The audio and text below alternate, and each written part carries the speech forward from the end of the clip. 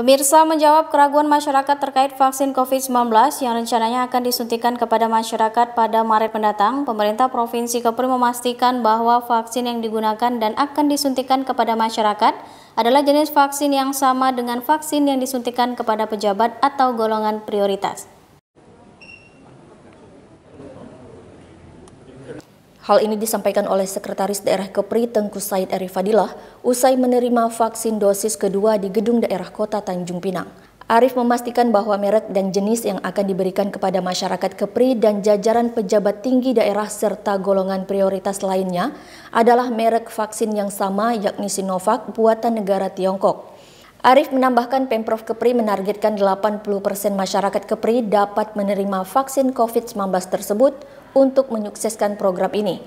Pihaknya tengah gencar memberikan sosialisasi ke tengah masyarakat terkait manfaat vaksin untuk pencegahan virus COVID-19 yang masih mengancam.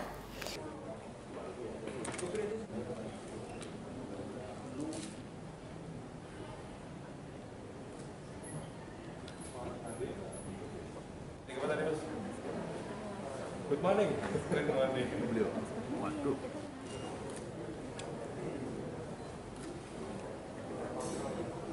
Dari 18 orang yang kemarin tanggal 14, sekarang yang kedua setelah 14 hari, alhamdulillah semuanya sehat. Semua sehat. Bapak-bapak Forkopinda kita, eh, tokoh masyarakat, eh, tokoh umat, IPU apa eh, MUI dan lainnya. Jadi semuanya sehat hari ini. Eh, dan masing-masing semua sudah dapat semacam kartu yang di dalamnya ada barcode. Uh, itu demikian. Jadi uh, kita sampaikan bahwa vaksinasi sudah kita.